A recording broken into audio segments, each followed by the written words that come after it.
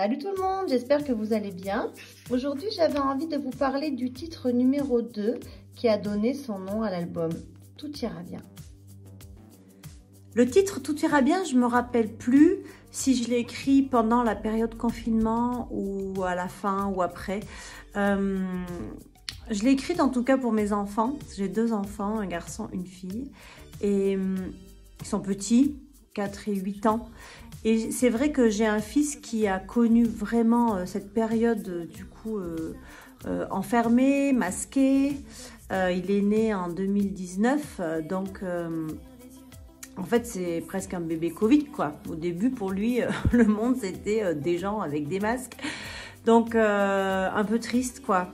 Donc j'avais envie de faire un titre positif et, et qu'il leur dise non, c'est pas ça en fait, euh, la vie. Euh, voilà, maintenant on y va, on ouvre les fenêtres, euh, on laisse rentrer le soleil et la joie de vivre et on va dehors et on respire et on rencontre les autres et on s'amuse. C'est pour ça que j'ai écrit ces paroles. Il est l'heure d'ouvrir les yeux, de laisser danser la joie, de sourire et d'être heureux comme pour la première fois, comme si on l'avait jamais fait, comme si on sortait de l'hibernation, quoi. C'était un peu ça quand même. Voilà. Et j'ai retrouvé les prémices donc de du texte sur un petit carnet. J'aime bien écrire mes, mes débuts d'inspiration sur des petits carnets aussi. Et c'est exactement les paroles, parce que je crois en vous, en toi, parce que vous êtes l'avenir à l'espoir. Parce que rien ne vous arrêtera, vous les enfants de la nouvelle histoire. Euh, c'est aussi une chanson qui s'adresse à la nouvelle génération mais sans leur mettre la pression, hein, du tout. Euh, voilà, c'est pas du tout un message de voilà, c'est vous qui allez régler les problèmes euh, euh, d'environnement que les générations avant vous ont créé. L'horreur. Mais par contre, c'est plutôt une chanson hyper positive et c'est vrai que dans la promo, les journalistes me disaient oui, vous êtes foncièrement quelqu'un de, de, de, positif. je dis ben.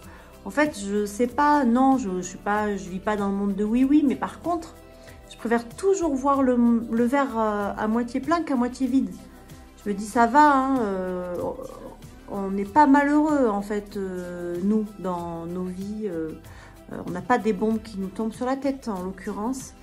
j'ai pas mal voyagé, j'ai connu des pays où il y a vraiment la misère et où vraiment c'est compliqué. Donc oui, je relativise, ça c'est sûr, tous les jours. Et je remercie la vie de, de, nous offrir tout ce qu'elle nous offre euh, tous les jours. Donc, euh, j'ai voulu faire un album positif, effectivement, parce que je crois en la force de la, de la positivité euh, mentale, même si il faut être conscient des vraies choses, mais je crois qu'on nous inflige tous les jours tellement de négativité, que ce soit à la télévision, que ce soit sur les réseaux sociaux. Euh, donc, euh, donc non quoi, il y a aussi euh, des choses formidables qui se passent, il y a aussi des gens qui font des choses formidables.